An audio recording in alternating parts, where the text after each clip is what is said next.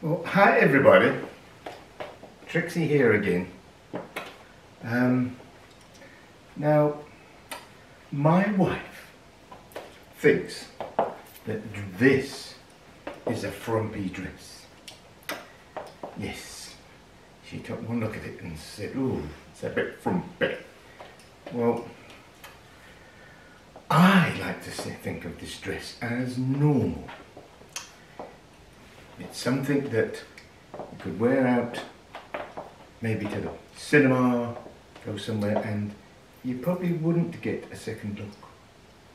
Because at least that's what I'd hope I didn't get when I go out. So it's just normal. What any normal lady, girl would wear.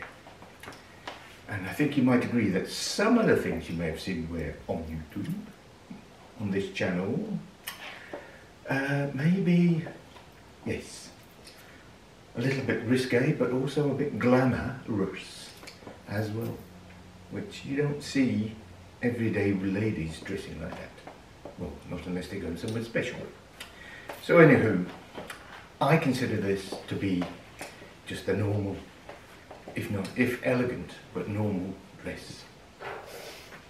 So there. So I don't agree with my wife.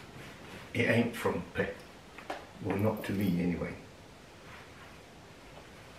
So, love you all. Bye bye.